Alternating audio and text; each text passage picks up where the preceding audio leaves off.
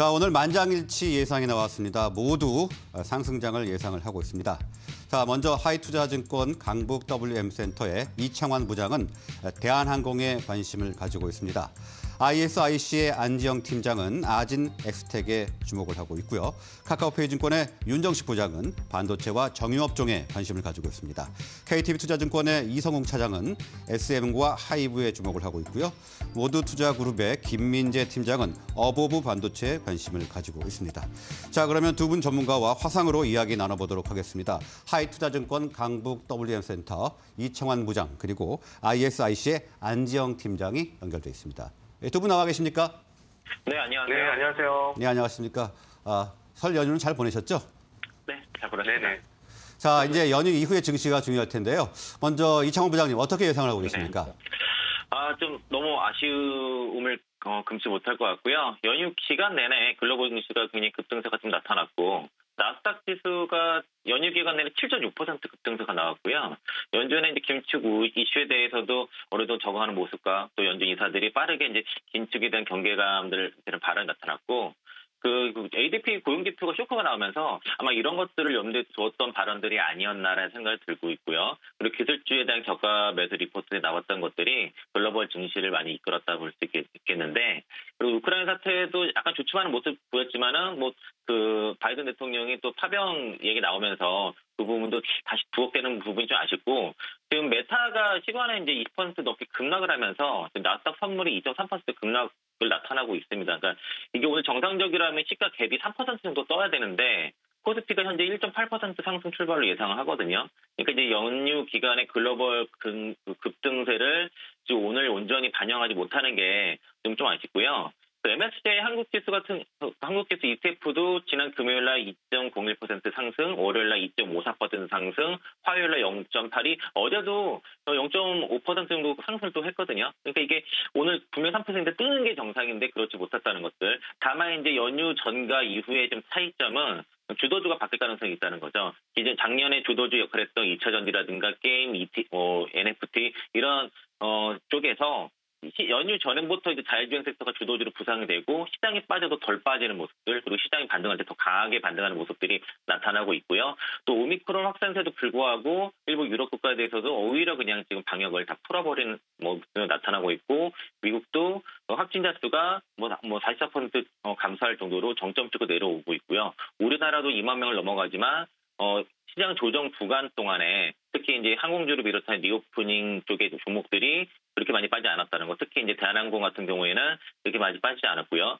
어, 미국 같은 경우, 다른 나라 같은 경우도 항공주들을 전반적으로 시세가 견조했던 걸 봤을 때는 우리나라 증시도 이와 동조 가능성이 있다라고 봐서 어, reopening 쪽도 이제 뭐 확진자 수가 뭐 2만 명이 넘는 상황이 있지만은 이제 관심을 가져야 된다. 방역은 풀 때가 됐다라고 말씀드리겠습니다. 네, 연휴 때문에 글로벌 증시의 급등을 충분히 반영하지 못하는 게 아쉽다까지 얘기를 해주셨습니다. 다음은 안지영 팀장님. 어, 미국 증시는 오늘까지 이제 4거래일째 상승입니다. 아무래도 우리 증시에 좀 긍정적인 영향을 미치겠죠?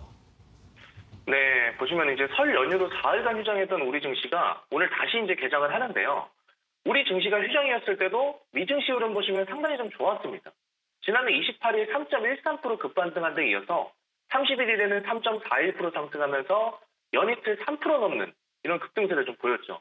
일단은 글로벌 증시를 짓누르던 연방준비제도 이사회의 긴축 공포가 잦아들면서 지수 흐름이 다시금 좋아지고 있다. 그렇게 좀 보여집니다.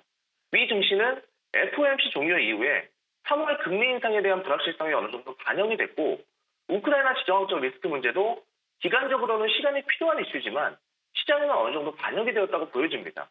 우리 증시도 글로벌 주요 시장 중에서 유독 좀 부진한 흐름을 보였는데 1월 한달 동안에만 10% 넘는 급락이 나왔었죠. 하지만 낙폭이 큰 만큼 이제는 반등세도 강하게 나와줄 수 있는 타이밍인데요. 특히 오늘 같은 경우에는 연휴 중에 미증시의 상승폭이 한꺼번에 반영될 가능성이 높습니다.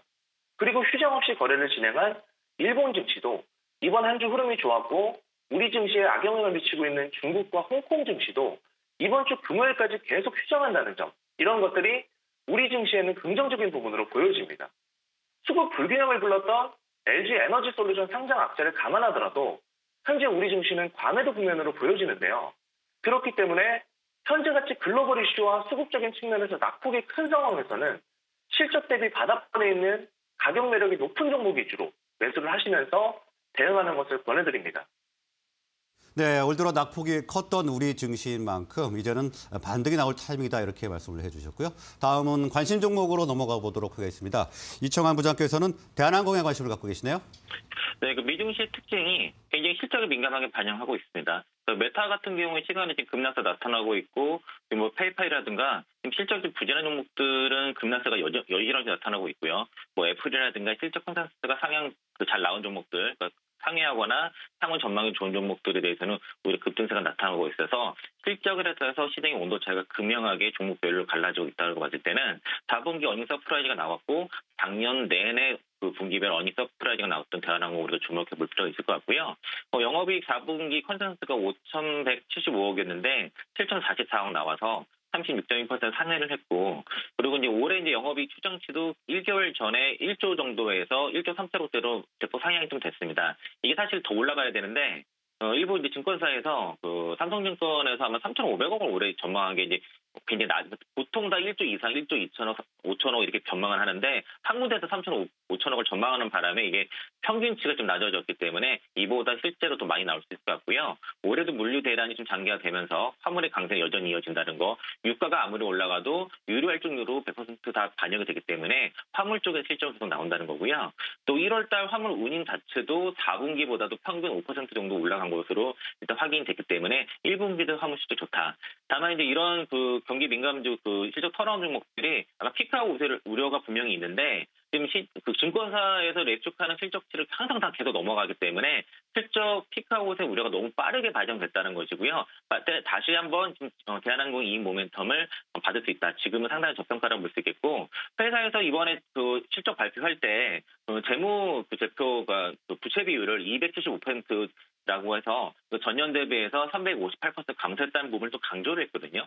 이게 이제 예전에 이제 2010년도랑 2007년 7년도 당시에 고점일 때 어, valuation 가장 많이 받았을 때가 10배였을 당시가 부채비율 200%대를 감안했을 때는 이제는 value, 그 영업이익에서 10배 충분히 줄 수 있다고 볼 수 있겠고요.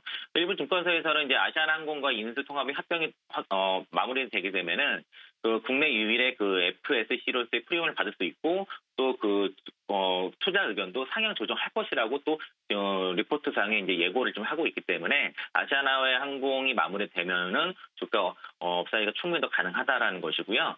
어, 지난 이제 작년에 이제 유자, 유상증자 3조 3천억을 끝냈기 때문에 여기 대해서도 자본 어, 좀 부채가 거의 2조 넘게 좀 줄어들었거든요. 그래서 좀 굉장히 매력적인 부채 비율과 이 모멘텀을 봤을 때는 충분히 이제 그 reopening 대장주 향후에 이제 시장 대장 1분기 시장 대장주로 역할 가능성도 있다고 봤을 때는 오늘 뭐 갭이 많이 뜨지 않는다고 하면은 시가 정도 이하에서 어, 접근해 보셨으면 좋겠고요. 목표가는 1차 4만 원 제시해드리겠고 손절가는 2만 5천 원 말씀드리겠습니다. 네, 대한항공 실적에 비해서 상당히 저평가되어 있다 이렇게 말씀을 주셨고요. 다음은 안지영 팀장님 관심 좀 부탁드리겠습니다. 네, 제가 관심을 두고 있는 종목은 아진 엑스텍입니다. 동사는 로봇 모션 제어측 원천 기술을 보유하고 설계와 제조를 하는 회사인데요. 삼성중공업과 공동으로 로봇 사업 원천 기술 개발 국책 과제를 수행을 했고요. 삼성전자 반도체 설비에 융복합 로봇 자동화 모션 제어 시스템을 공급한 이력도 있습니다. 최근에 주가 흐름이 좋은 이유 역시 삼성과 관련이 있다고 보시면 되는데 삼성이 올해부터 로봇 사업부를 격상하고 관련 사업을 진행하면서 수혜 기대감이 반영된 것으로 보시면 되겠습니다. 실적을 보셔도 상당히 좀 안정적인 전형적인 실적 추인데요.